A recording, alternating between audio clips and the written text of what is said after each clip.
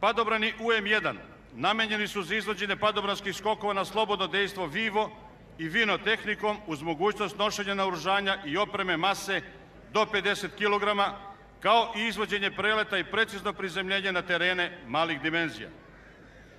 Komandir ekipe padobranskog skoka je major Mario Bradić, instruktor padobranstva kome je ovo 489, 489. skok po redu. Zastavu Republike Srbije nosi zastavnik Vladimir Kržalić, instruktor padobranstva prve klase, kome je ovo 1522. skok. U sastavu ekipe nalaze se zastavnik Zoran Čarapić, instruktor padobranstva, stariji vodnik Igor Janković, mlađi instruktor padobranstva, instruktori padobranstva zastavnici Nenad Stanković, Goran Cvetković, Ivan Mitić, Milan Svetozarević, Radmila Đurić i Siniša Mićić, instruktor padobranstva prve klase, član padobranske ekipe Vojske Srbije Nebeske Vidre, kome je ovo 5472. skok. Molim vas da usmerite pogled ka nebu i pratite padobranski skok.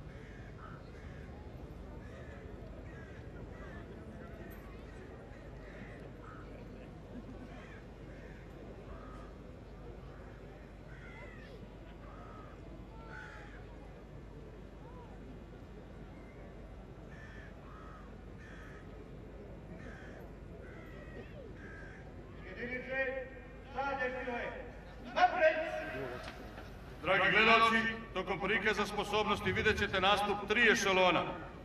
Pešadičkog, motorizovanog i vazduhoplovnog, koje sačinjavaju pripadnici Vojske Srbije, Ministarstva odbrane, Ministarstva unutrašnjih poslova Republike Srbije, vojni veterani i veterani Ministarstva unutrašnjih poslova, kao i deo opreme i sredstava ratne tehnike Vojske Srbije i Ministarstva unutrašnjih poslova Republike Srbije. U sastavu pešadičkog ešelona nalaze se jedinice Vojske Srbije opremljene po projektu 1500, kao i specijalna i posebne jedinice Ministarstva unutrašnjih poslova opremljene najsavremenim naružanjem i opremom.